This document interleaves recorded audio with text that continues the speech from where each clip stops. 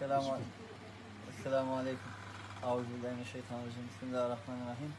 My greetings and salams to the young people of Reading. Uh, these days are very difficult for young people.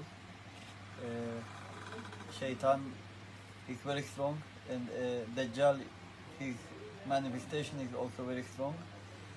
And uh, they are trying to trap the young people. Am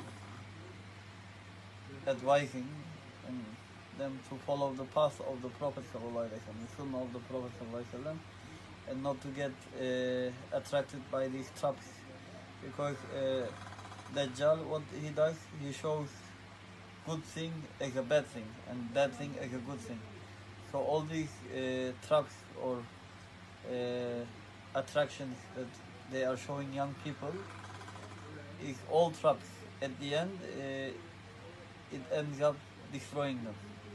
And uh, in this world, there is one thing that uh, we have no luxury of wasting, and that is time.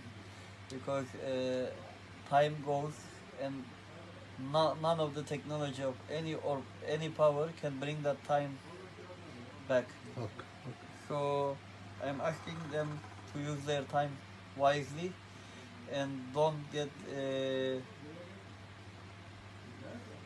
attracted by these traps of, of this time because it will end up making them lose lot of waste lot of time so which they would regret so better to follow the sunnah of the prophet and the example of the holy people rather than their ego, desires and shaitan. Assalamu alaikum. Alaikum salam wa rahmatullah. Thank you, Sayyidi.